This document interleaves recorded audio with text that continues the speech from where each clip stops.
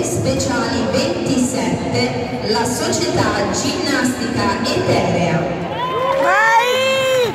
Passione, determinazione e sudore che pagano a un passo dal gradino più alto del podio, ma con un argento che riempie di gioia.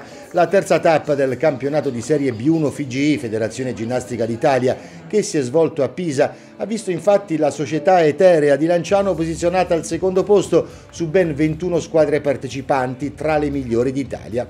Adriana Taddeo, tecnico federale e giudice nazionale, ha schierato giovani ginnaste dai punteggi eccellenti. Sofia Olivastri al corpo libero, Federica Lemma alla fune, Michela Ciccotelli al cerchio alla palla, Benedetta dell'Elba alle clavette, Alice Caldora al nastro. Il prestigioso campionato di B1 di ginnastica ritmica federale ha avuto inizio il primo ottobre a San Marino. La seconda tappa si è svolta ad Ancona, dove l'Etere ha scalato la classifica dal nono al quarto posto, sfiorando così il podio. Poi quattro ore di allenamenti quotidiani per lavorare sulle performance di gara, sull'aspetto artistico, tecnico e mentale hanno finalmente pagato. Questo risultato è stato sia per me che per le mie ragazze una soddisfazione grandissima Sicuramente era tra i miei principali obiettivi sin dall'inizio del campionato, però poi vedere questo sogno realizzarsi è stata veramente un'emozione unica, soprattutto mi ha reso fiera vedere le ragazze pronte in pedana, determinate e hanno comunque conquistato punteggi ottimi tra i migliori della competizione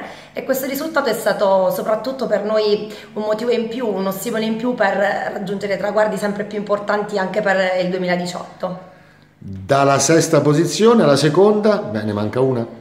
Sì, abbiamo, siamo partiti con eh, la nona posizione alla prima tappa, dopodiché quarto posto alla seconda tappa, seconda alla terza tappa e speriamo l'anno prossimo di ottenere la promozione, ci proviamo.